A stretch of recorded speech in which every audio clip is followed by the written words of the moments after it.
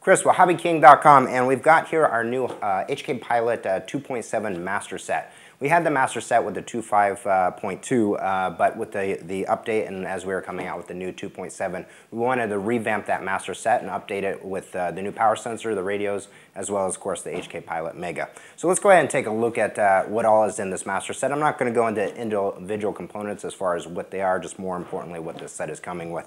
So we're going to go ahead and start with the, uh, the awesome flight controller. Now this is the HK Pilot Mega 2.7, which has a lot of updates uh, and revisions done to it. It's the latest and greatest as far as the APM is concerned. Sure, we have the, uh, the uh, HK uh, Pilot 32 out there, which is, uh, you know, in regards a better flight controller, but thus comes the price tag with that as well. So this is a great platform to use with 99% of the users out there. So the HK Pilot Mega 2.7 is included in the kit, uh, as well as it does come with a case. We'll go over that in a second. Now as far as the master set, we wanted pretty much everything included here. So we've got the minimal OSD included. Uh, we've also got the new updated radio set. Now what's different with these radio sets, it's universal between ground and air modules, meaning that both uh, support uh, USB as well as UART connections. So you can use them uh, whether one be in the computer or one in the aircraft or switch them vice versa. That makes it really easy for updating as well. Before you had to use an FTDI to connect the air module to the uh, computer and get them updated and synced and change these.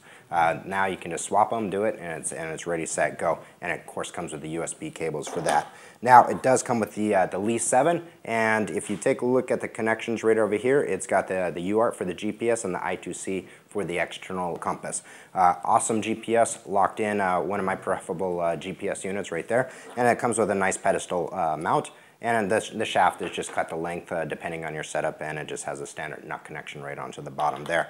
Now another one uh, that is updated besides just the, uh, the flight control, the radios, is the PSU or power sensor unit on this one. Now this provides uh, uh, amperage as, as, well as voltage data back to the flight controller for telemetry feedback as well as fail safes and a couple other things as well as providing voltage for it. What's uh, awesome about this variant besides just the XT60 connectors is that it's 10S capable.